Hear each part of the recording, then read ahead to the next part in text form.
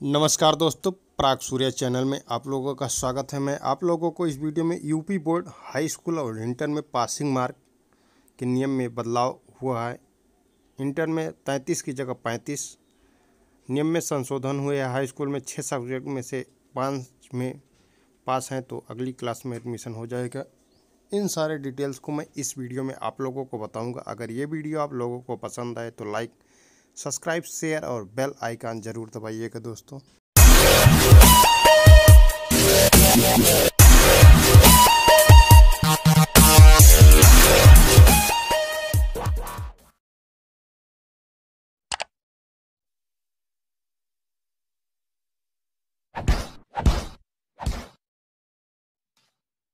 तो दोस्तों, जो दो बड़े अहम बदलाव हुए हैं। नंबर एक, हाई स्कूल और इंटर में पासिंग मार्क हाई स्कूल में तैंतीस परसेंट पासिंग मार्क और इंटर में तैंतीस के जगह पैंतीस परसेंट मार्क लाना अनिवार्य है।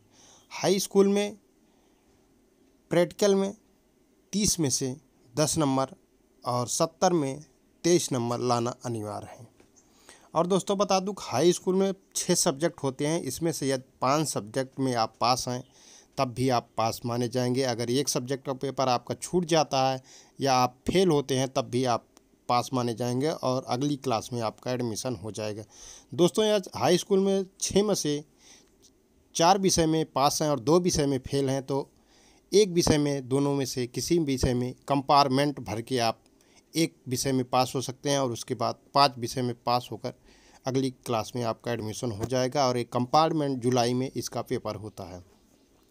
और दोस्तों, इंटर में जो पासिंग मार्क है, तैंतीस की जगह अब पैंतीस परसेंट यूपी बोर्ड ने कर दिया है। आप लोगों को पैंतीस नंबर लाना अनिवार्य होगा। सौ में से पैंतीस नंबर अगर पाते हैं हर सब्जेक्ट में, इंटर में पाँच सब्जेक्ट होते हैं, सभी में पास होना अनिवार्य है पैंतीस नंबर।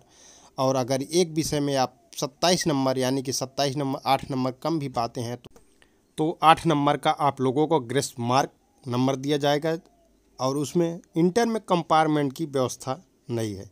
तो आप लोग पाँच इंटर में पाँच में पाँचों विषय में पास होना अनिवार्य है और हाई स्कूल में छः में से अगर चार में या पाँच में पास होते हैं, तब भी आप पास माने जाएँगे क्योंकि एक में कंपार्टमेंट भर के आप पाँच विषय में पास हो सकते हैं।